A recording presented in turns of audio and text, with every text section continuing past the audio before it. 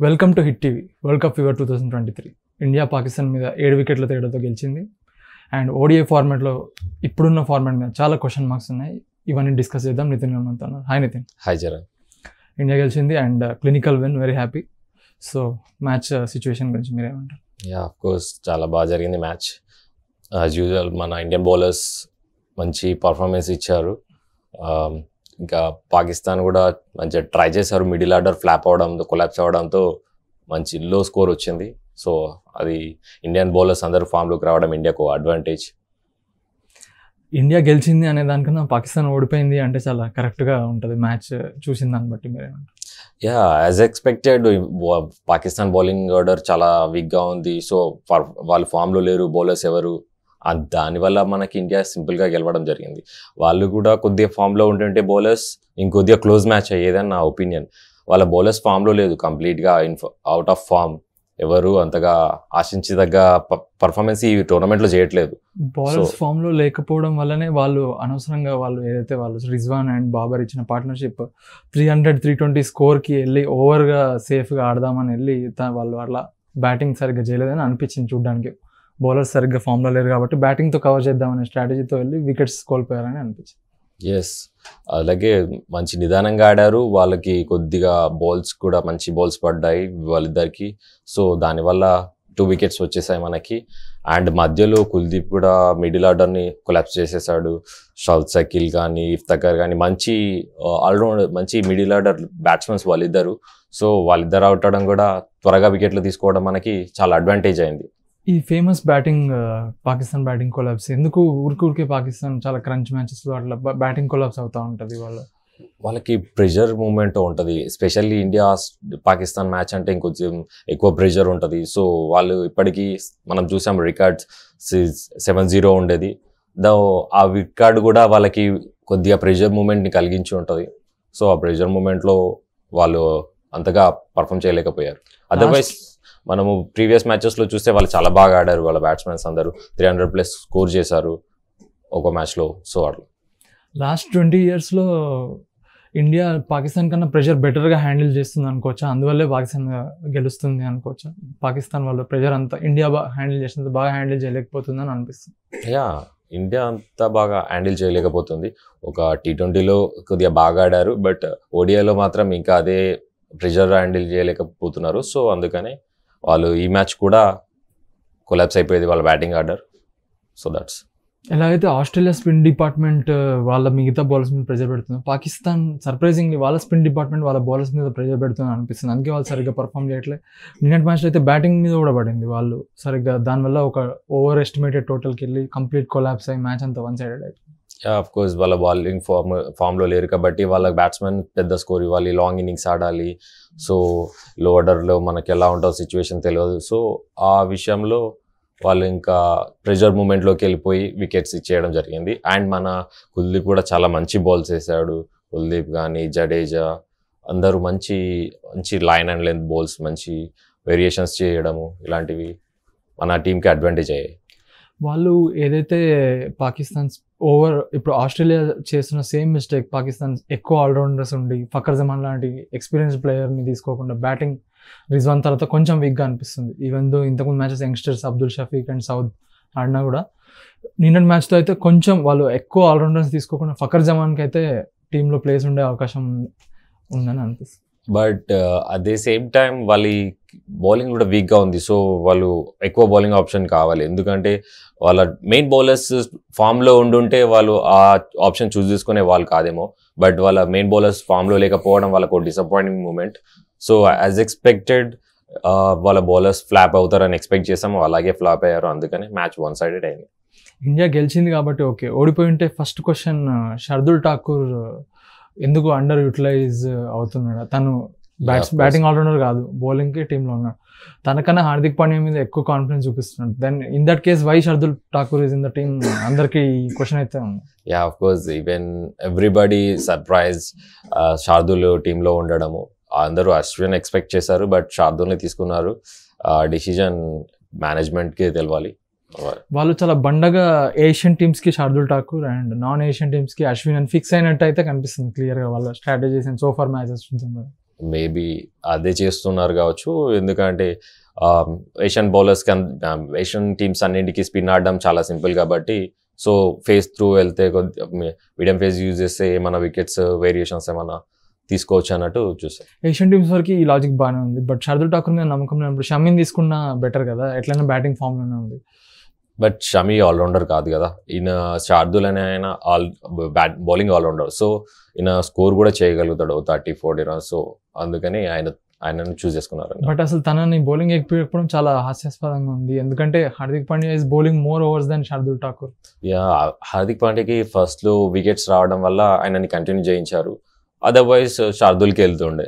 రోహిత్ శర్మ తను Pakistan bat out చేసినట్టు అనిపించింది. అంటే షేన్ వాన్ ఒక థియరీ చెప్తుంటారు ఎప్పుడు ఏంటంటే వన్ ఎయిటీ టూ హండ్రెడ్ ఇలాంటి లో టోటల్స్ ఉన్నప్పుడు మనం ఆపోజిట్ టీమ్ని ఫస్ట్ టెన్ అవర్స్లోనే గేమ్లోంచి బయటకు తీయొచ్చు. అదర్వైజ్ వాళ్ళని గేమ్లో ఉంచితే లో టోటల్స్ ప్రెజర్ వల్ల మనం ఆల్అౌట్ అయ్యే ప్రమాదం ఉంటుంది. ఫస్ట్ టెన్ అవర్స్లోనే అగ్రెసివ్గా ఆడి అవతల టీంని టీంలో మ్యాచ్లో నుంచి బయటికి చేయాలి అనేది ఒక. స్ట్రాటజీ అది రోహిత్ శర్మ చాలా క్లియర్గా ఫాలో అవుతున్నట్టు అనిపించింది అబ్జల్యూట్లీ ఎందుకంటే ఇప్పుడు బ్యాట్స్మెన్ బౌలర్ని డామినేట్ చేస్తే బౌలర్ ఫామ్లో నుంచి బయటకు వెళ్ళిపోతాడు. ఆయన ప్రెషర్లో పడిపోతారు. సో వికెట్స్ వాళ్ళకి పడవు. సో ఆ స్ట్రాటజీని ఫాలో అయ్యాడు. సక్సెస్ఫుల్ అయ్యాము. ఇండియా సింపుల్గా వన్ సైడెడ్గా మీరు మ్యాచ్ గెలిచింది. మొహమ్మద్ సిరాజ్ స్టార్టింగ్లో కొంచెం ఎక్స్పెన్సివ్ ఉన్నా కూడా రోహిత్ శర్మ చాలా ఇంటెలిజెంట్గా తనని బౌలింగ్ నుంచి తీయకుండా పర్సిస్టెంట్గా ఉండడం వల్ల తను రెండు క్రూషియల్ వికెట్స్ తీశాడు. సో తన పర్ఫార్మెన్స్ గురించి యా మనము మాట్లాడుకున్నట్టే ఆయన అన్కన్సిస్టెంట్ బౌలర్ ఎప్పుడు వికెట్స్ తీస్తాడో మనకు తెలియదు బట్ మెయిన్ టైంలో మనకి పాకిస్తాన్తో మ్యాచెస్లో పర్ఫామ్ చేశాడు. అదొక మంచి ప్లస్ పాయింట్ అయిపోయింది ఇండియాకి ఆయన అలాంటి మ్యాచెస్లో పర్ఫామ్ చేస్తే చాలు మనకి. కన్సిస్టెంట్గా చేయకుండా మిగతా బౌలర్స్ ఆయన బ్యాకప్ చేస్తున్నారు. So it's good sign Bumrah and Kuldeep కూడా వాళ్ళ పాత్ర వాళ్ళు చాలా సమర్థవంతంగా నిర్వహించారు. ఎస్పెషల్లీ కుల్దీప్ చాలా బాగా బౌలింగ్ వేశాడు యా కుల్దీప్ ఎక్స్ట్రాడినరీ బౌలింగ్ చేస్తున్నాడు. ఆయన ఫుల్ ఫామ్లో ఉన్నాడు. ఆ ఫామ్ని కంటిన్యూ చేయాలి. వరల్డ్ కప్ మొత్తం అని ఎక్స్పెక్ట్ చేస్తున్నాను. మంచి బాల్స్ వేస్తున్నాడు. బ్యాట్స్మెన్ బాగా రీడ్ చేస్తున్నాడు. అన్ని ఆస్పెక్ట్స్లో బ్యాట్స్ బ్యాట్స్మెన్ చూస్తూ బ్యాట్స్మెన్ రీడ్ చేసి ఏ బ్యాట్స్మెన్కి ఎలా వేయాలో అనేది బాగా వేస్తున్నాడు. నిన్న గూగ్లీ కూడా చాలా బాగా వేసాడు చూసాం Jasprit Bumrah even though he was eighty percent close to his best but still అది సరిపోతుంది. ఈ is leading wicket taker in the tournament presently and is పెద్ద చాలా బిగ్ బ్యాట్స్మెన్ కూడా చాలా ఇబ్బంది పెడుతున్న సిచ్యువేషన్స్ మనం చూస్తున్నాం. సో ఈ this Bumrah is enough to for Indiana అనిపిస్తుంది. యా ఆఫ్ కోర్స్ ఆవిడ ఫామ్ కోల్పోయిన తర్వాత వచ్చి ఈ మా ఇలాంటి పర్ఫార్మెన్స్ ఇవ్వడం చాలా మంచి సైన్ ఇండియాకి ఆయన అంత మంచిగా ఫామ్ కోల్పోయిన తర్వాత ఇంజురీస్ నుంచి బయటకు వచ్చి ఆయన అప్ టు మార్క్ లేకపోయినా ఆయన ఇవ్వాల్సిన బెస్ట్ ఇవ్వగలుగుతున్నాడు. ఇది చాలా ఇండియాకి అడ్వాంటేజ్ ఆయన ఆ ఫామ్ని కంటిన్యూ చేస్తే హండ్రెడ్ పర్సెంట్ టోర్నమెంట్ మనదే. శ్రేయస్ అయ్యర్ కూడా చాలా బాగా బ్యాటింగ్ చేశాడు బట్ తన బ్యాటింగ్ ఏదైతే షార్ట్ బాల్ వీక్నెస్ ఉందో చాలా క్లియర్గా ఎక్స్పోజ్ అవుతున్నట్టు అనిపిస్తుంది. అపోజిట్ బౌలర్స్ ఆ దిశగా తనని టార్గెట్ చేసే ప్రయత్నం చాలా చేస్తున్నాం అఫ్ కోర్స్ ఒక్కొక్క బ్యాట్స్మెన్కి ఒక వీక్నెస్ ఉంటుంది. బట్ శ్రేయస్ అయ్యారు ఎంత ఇంజురీస్ నుంచి కూడా ఆయనని టీంలోకి తీసుకోవడానికి ఏంటి రీజన్ అంటే చూపించాడు నిన్న మ్యాచ్లో ఆడి కూడా మనకి. ఆయన స్టేబుల్గా ఆడడము మంచి బ్యా బ్యాట్తో పర్ఫామ్ చేశాడు. ఆయన ఆడాల్సిన షార్ట్స్ అన్ని షార్ట్స్ మంచి బ్యాటింగ్ పర్ఫార్మెన్స్ చేసి మనకి మంచి ఫామ్లోకి వచ్చి మనకి ఇండియాకు అడ్వాంటేజ్ అనిపిస్తుంది. మిడిల్ ఆర్డర్లో ఆయన ఎందుకు తీసుకున్నాననే రీజన్ని మనకు ప్రూవ్ చేసి చూపించాడు. లాస్ట్లో శ్రేయస్ అయ్యర్ అండ్ కేరళ కొంచెం స్లో ఆడినట్టుగా అనిపించింది. ఎందుకంటే నెట్ రన్ రేట్ టోర్నమెంట్లో ఎండింగ్లో చాలా కీలకమైన అవకాశం ఉంది కాబట్టి కేఎల్ రాహుల్ ఫైనల్ అహ్మదాబాద్ కాబట్టి ఒకవేళ ఇండియా ఫైనల్కి వెళ్తే అనే ప్రాక్టీస్ చేస్తున్న టైప్లో ఆడి ఆడినట్టు నాకు అనిపించింది. యా కోర్స్ వాళ్ళకి ఆల్రెడీ మంచి ఫామ్ నెట్ రన్ రేట్ మనకి బాగానే ఉంది. Not bad second highest net run rate ఉంది. సో కొద్దిగా నిదానంగా ఆడి వాళ్ళ బౌలర్స్ కూడా మనకి మంచి బౌలర్సే. పాకిస్తాన్ బౌలర్స్. ఫామ్లో లేరు. బట్ వాళ్ళు వేసే బాల్స్ కూడా బాగానే వేస్తున్నారు. మంచి లైన్ అండ్ లెంత్లో వేస్తున్నారు. సో నిదానంగా ఆడడంలో తప్పలేదు అనిపించింది టోర్నమెంట్లో అసలు క్లోజ్ మ్యాచెస్ uh, జరగట్లేదు. నాకైతే నిన్న మ్యాచ్ చాలా క్లోజ్ వెళ్తుందనే ఒక ఎక్స్పెక్టేషన్ ఉండింది.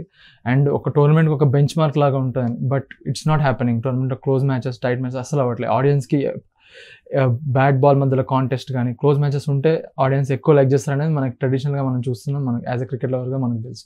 బట్ అది జరగట్లేదు. చాలా డిసప్పాయింటింగ్ ఉంది. ఎందుకు జరగట్లేదు మీరు అనుకుంటున్నాను ఓవరాల్గా ఈ టోర్నమెంట్ ఈ వరల్డ్ కప్ టోర్నమెంట్లో మొత్తంలో ఏ టీంకి ఎంత స్ట్రాంగ్ బౌలింగ్ యూనిట్ లేదు. ఒక న్యూజిలాండ్ సౌత్ ఆఫ్రికాలో తప్ప మిగతా ఎయిట్ టీమ్స్లో ఏ టీంలో కూడా మంచి బౌలింగ్ ఫామ్లో ఉన్న బ్యా బౌలింగ్ లైనప్ లేదు. అందుకనే క్లోజ్ మ్యాచెస్ రావట్లేదని నా ఒపీనియన్. బట్ ఓడిఐ ఫార్మాట్ మీద చాలా క్వశ్చన్ మార్క్స్ అయితే ఉన్నాయి. ఇప్పుడున్న ఫార్మాట్ అండ్ రూల్స్ ఏదైతే ఫైవ్ బౌలర్స్ కాకుండా ఫోర్ బౌలర్స్ అవుట్ సైడ్ ఉండడం టూ బాల్స్ వాటర్ దానివల్ల పార్ట్ టైమర్స్ ఎఫెక్ట్ తగ్గిపోవడం ఇలాంటి కొన్ని ఇన్కన్సిస్టెన్సీ అయితే ఆడియో ఫార్మాట్లో ఉంది. ఆ ఆ ఎఫెక్ట్ మనం క్లియర్గా ఈ వరల్డ్ కప్లో అయితే చూస్తున్నాం. సో ఎలాంటి చేంజెస్ ఉంటే బాగుంటుంది మీరు ఈ ఫోర్ ఫీల్డర్ అనేది తీసేసుకుంటే మనం బెటర్ ఫైవ్ ఫీల్డర్స్ పాత రూల్ అయితే మనకి ఇంకా క్లోజ్ మ్యాచెస్ ఎక్కువ వస్తాయి. అప్పుడు బౌలర్స్కి కూడా మంచి అడ్వాంటేజ్ ఉంటుంది. ఇప్పుడు బౌలర్స్ ఫామ్లో లేకపోవడానికి రీజన్ ఏంటి అంటే వీళ్ళకు ఫీల్డ్ రెస్ట్రిక్షన్స్ అనేవి తక్కువ చేయడం వలన బ్యాట్స్మెన్స్ డామినేట్ uh, చేయగలుగుతున్నాడు బౌలర్ని సో అందుకే మ్యాచ్లు క్లోజ్గా రావట్లేదు. ఈజీగా వన్ సైడెడ్ అయిపోతున్నాయి. పిచ్ కూడా ఎట్లా ఉంటుంది అంటే ఒక ఫస్ట్ ఇన్నింగ్స్తో పోలిస్తే సెకండ్ ఇన్నింగ్స్లో పిచ్ బౌన్సీ అనేది ఎక్కువగా ఉండదు. సో దాంట్లో ఉన్న స్ట్రెంగ్త్ అనేది తగ్గిపోతూ ఉంటుంది. సో బౌలర్స్ ఎఫెక్ట్ ఎంత ఎఫర్ట్స్ పెట్టినా దాన్ని రిజల్ట్ రాబట్టుకోలేకపోతాడు. యాజ్ ఎ ఫేస్ బౌలర్ ఆయన బౌన్స్ రాలేదు ఆయనకి ఎక్స్పెక్టెడ్ బౌన్స్ రాదు బాల్ మూవ్ అవ్వదు. ఇలాంటి సిచ్యువేషన్స్ జరుగుతూ ఉంటాయి. అట్లాంటప్పుడు బౌలర్కి లైన్ అండ్ లెంత్ వేసి ఆడించడమే ఇంపార్టెంట్ ఉంటుంది. ఆ టైంలో ఫీల్డర్స్ ఉండరు. Out outside the circle fielders ఉండకపోవడం వలన వాళ్ళకు డిసప్పాయింట్ అవుతూ ఉంటుంది. సో అందుకనే క్లోజ్ మ్యాచెస్ రావట్లేదని నా ఒపీనియన్. నైన్టీన్ ఎయిటీ త్రీ వరకు సిక్స్టీ ఓవర్స్ ఫార్మాట్ ఉండేది. దాని తర్వాత దాన్ని ఫిఫ్టీ ఓవర్స్కి మార్చారు. ఫార్టీ ఇయర్స్ నుంచి ఇంకా ఫిఫ్టీ ఓవర్స్కే స్టక్ అవ్వడాన్ని కొంచెం అవుట్డేటెడ్ లాగా అనిపిస్తుంది. ఫార్టీ ఓవర్స్ అయితే అప్పుడు ఫైవ్ ఫీల్డర్స్ ఉన్నా కూడా ఇప్పుడు ఫైవ్ ఫీల్డర్స్ కాకుండా ఫోర్ ఫీల్డర్స్ రూల్ ఎందుకు వచ్చింది? ట్వంటీ టు ఫార్టీ ఓవర్స్ మధ్యలో చాలా స్లోగా ఆడుతున్నారు. ఫీల్డర్ తగ్గిస్తే కొంచెం పేస్ పెరుగుతుంది అనే కాన్సెప్ట్ మీద వాళ్ళు తీసుకొచ్చారు. అసలు ఫార్టీ ఓవర్స్ ఉంటే అవసరం లేదు కదా. ఫైవ్ ఫీల్డర్స్ ఉన్నా కూడా టెన్ వికెట్స్ ఉన్నాయి కాబట్టి ఫాస్ట్గా ఆడతారు కదా. ఇలాంటి రూల్స్ ఎందుకు వాళ్ళు చేంజ్ చేయట్లేదు? అలా ఏమి ఉండదు. ఇప్పుడు మనము టీ టీ వన్ డేని ఓవర్స్ తగ్గించడం వలన క్లోజ్ మ్యాచెస్ వస్తాయంటే నేను అసలు యాక్సెప్ట్ చేయను. ఎందుకంటే బౌలర్స్ మనకు రెస్ట్రిక్షన్స్ అనేవి ఇలా బ్యాటింగ్ బ్యాట్స్మెన్ ఫేవర్ రెస్ట్రిక్షన్స్ వచ్చినప్పుడు ఎన్ని మ్యాచెస్ అయినా మనకి క్లోజ్ మ్యాచెస్ రావు. వన్ సైడెడే అవుతాయి. ఇప్పుడు మనము ఒక ఆస్ట్రేలియా సిరీస్ చూసాము. దాంట్లో ఇలాగే సేమ్ రిస్ట్రిక్షన్స్ తీసుకొచ్చారు. బట్ అప్పుడు ఏమైంది? టోటల్ స్కోర్స్ అనేవి హైగా అయిపోయినాయి. బౌలర్ ఒక బొమ్మలా అయిపోయాడు. ఆయన బాల్ వేయడము ఫీల్డ్ బ్యాట్స్మెన్ బయటకు వెళ్ళిపో బౌండరీస్ వెళ్ళడము three fifty three sixty scores వచ్చేసాయి ఒక సిరీస్ మొత్తం మనకి. అది ఇదే రీజన్. ఫీల్డ్ రిస్ట్రిక్షన్స్ అనేవి మరీ బ్యాట్స్మెన్ ఫేవర్ చేయకూడదు. ఈ రూల్స్ అనేవి బ్యాట్స్మెన్ ఫేవర్ వెళ్ళిపోతున్నాయి. అలాంటి రూల్స్ వలన మ్యాచెస్ అనేవి క్లోజ్ మ్యాచెస్ రావు. వన్ సైడెడ్ అయిపోతాయి. ఫోర్ ఫీల్డర్స్ వల్లనే ఇండియా అశ్విన్ ఎక్కువ ఆడించట్లే షరదులు ఆడిస్తుందని నాకు అనిపిస్తుంది. మేబీ స్పిన్నర్ కాబట్టి అడ్వాంటేజ్ తీసుకుంటారు అనే రీజన్తో వాళ్ళు ఆడించట్లేదేమో బట్ ఈ ఫార్మేట్లో మెయిన్ ఫీల్డర్స్ ఫీల్డ్ రిస్ట్రిక్షన్స్ వల్లనే క్లోజ్ మ్యాచెస్ రావట్లేదని నా ఒపీనియన్ సచిన్ ఒక two three years I think close to last world cup నుంచి తను టూ ఇన్నింగ్స్ అయితే బాగుంటుంది.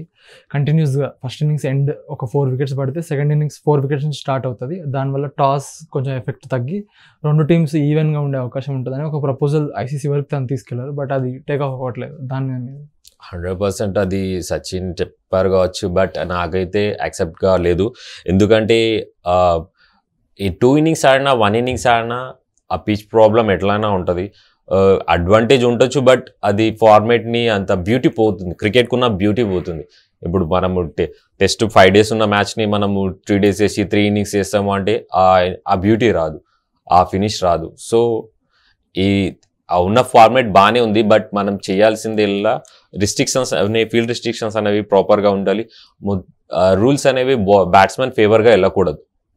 అలా అయితే బెటర్ ఓకే సో ఓడిఐ ఫార్మాట్లో డెఫినెట్గా చేంజెస్ అయితే అవసరం. అది ఎలాంటి చేంజెస్ ఏంటి అనేది మనం మళ్ళీ will discuss so yeah India గెలిచింది అండ్ నిన్న ఒక చిన్న క్విజ్ క్వశ్చన్ అడగడం జరిగింది. దట్ ఛాంపియన్స్ ట్రోఫీలో అందరికీ తెలిసింది టూ థౌజండ్ సెవెంటీన్లో పాకిస్తాన్ ఇండియా మీద గెలిచింది అని. అది కాకుండా Pakistan two thousand four champions trophy and two thousand నైన్లో కూడా ఇండియా మీద గెలిచింది. రెండుట్లో కామన్ ఫ్యాక్టర్ ఏంటంటే Rahul Dravid is highest score okay రేపటి మ్యాచ్ గురించి మాట్లాడదాం. Sri Lanka versus Australia. లక్నోలో జరుగుతుంది. సో టాస్ అండ్ పిచ్ ఎట్లా ఉంటుంది yeah of course Lucknow pitch very new pitch. Only five matches అయ్యాయి.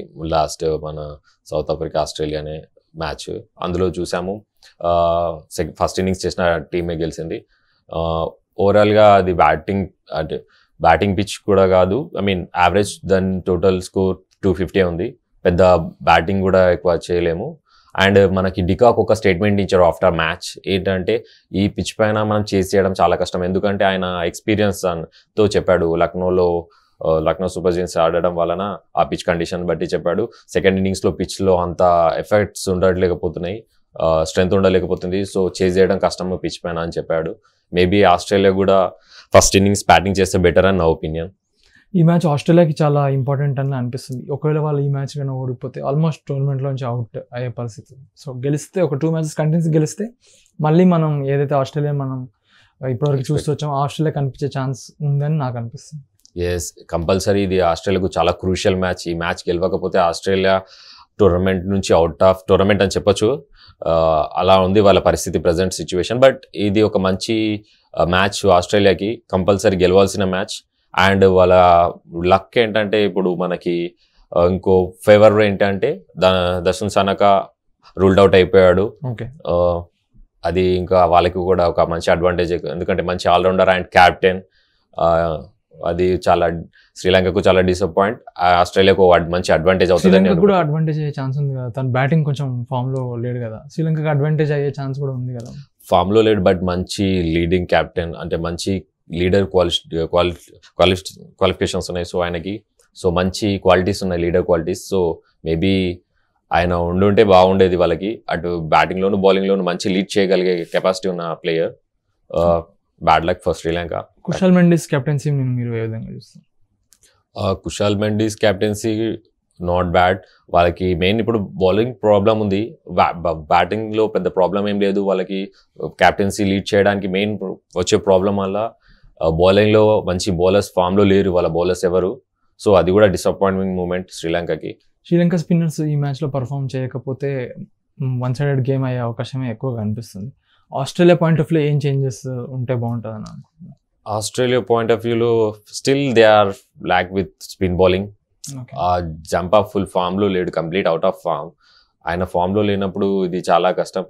ఆయన స్పిన్నర్స్ పైన వాళ్ళు స్పిన్ ఒక మంచి స్పిన్నర్ని తీసుకోవాల్సింది తీసుకోవాల్సింది squad last at last Labuschagne అయినా బౌలింగ్ చేయించాలి. అది చేయకపోతే ఈ మ్యాచ్ కూడా చాలా కష్టం అవుతుందని నా ఒపీనియన్ ఎందుకంటే మెయిన్ ఇది ఇండియన్ పిచ్చెస్ ఏషియన్ పిచ్చెస్ పైన కంపల్సరీ స్పిన్నర్ మంచి రిజల్ట్ చూపిస్తాడు.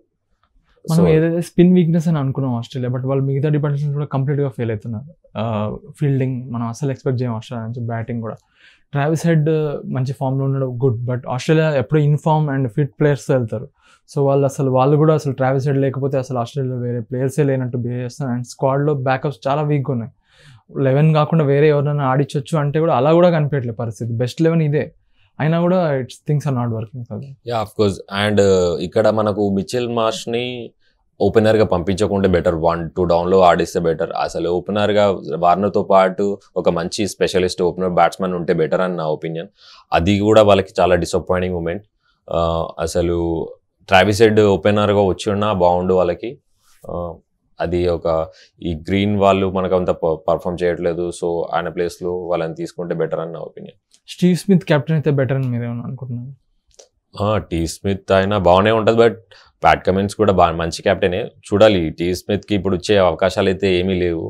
మేబీ ప్యాట్ కమిన్సే లీడ్ చేస్తాడు బట్ టీంలో టూ చేంజెస్ చేస్తే బెటర్ అని నా opinion Alex Carey Josh Inglis ప్లేస్లో వచ్చే అవకాశం ఉందండి. ఇద్దరు సరిగా పర్ఫామ్ చేయట్లేదు. ఎవరున్నా పెద్ద తేడా ఏమి ఉండదు సో ఎఫెక్ట్ ఏమి ఉండదు అని నా ఒపీనియన్ పీటర్ హ్యాండ్స్కాంబ్ ఏదైతే తను ఫుల్ టైం వికెట్ కీపర్ కాకపోయినా is a good wicket keeper తను బ్యాటింగ్ ఇండియాలో చాలా బాగా చేస్తాడు. తను టోర్నమెంట్లో లేకపోవడం చాలా సర్ప్రైజింగ్ ఉంది. యా ఆఫ్ కోర్స్ బట్ ఆయన అంతకుముందు ఓడిఐ వరల్డ్ కప్ కన్నా ముందు సిరీస్లలో వీటిలోనూ అంత రాణించలేకపోయాడు. సో మేబీ ఆ రీజన్తో తీసుకోలేదేమో స్క్వాడ్ నుంచి ఈ మ్యాచ్లో డెఫినెట్గా ఆస్ట్రేలియా ఫేవరెట్స్ అని అనుకుంటున్నాం. Even with their present form also sixty forty అని నేను అనుకుంటున్నాను మీరేమంటారు? నేను ఎయిటీ ట్వంటీ అనుకుంటున్నాను. Australia Australia.